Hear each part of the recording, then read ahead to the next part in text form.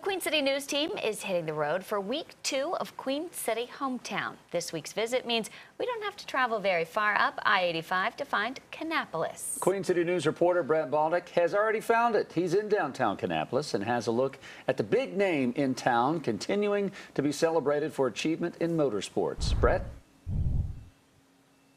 Good morning, and Wyatt and Jason. So it's been more than 20 years since NASCAR lost Dale Earnhardt. But here in Kannapolis, they have not forgotten about him and they continue to honor him. He was born and raised right here and uh, very rarely, if ever, forgot about his roots. And where we're standing right now is actually one of the many stops on what Cabarrus County calls the Dale Trail.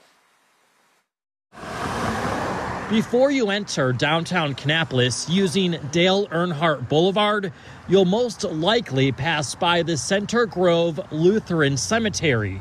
This is where the Earnhardt family matriarch Martha now rests with her husband Ralph. When Dale passed away in 2001, she had one wish for her son's legacy. I just hope they won't ever forget Dale, and I don't think they ever will.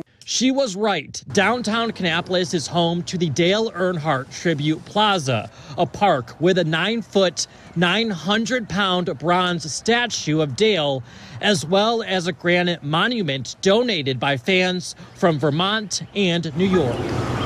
Everything about this peaceful downtown green space is related to Dale, from the brick walkway shaped like a racetrack to the benches donated by race fans that are grouped in threes. All right, getting on the hat. Before the seven NASCAR championships, Dale got his start in Kannapolis working on race cars in the garage of his childhood home.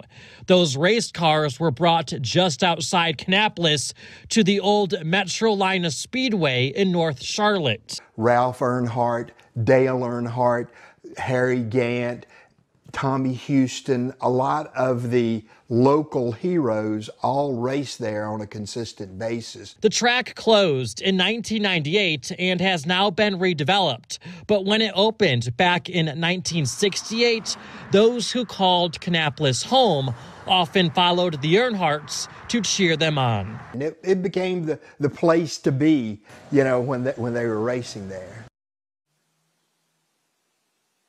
So obviously behind me is that 900 pound bronze statue. And just around the corner from here, we are in downtown Kannapolis, is the Curb Music and Motorsports Museum.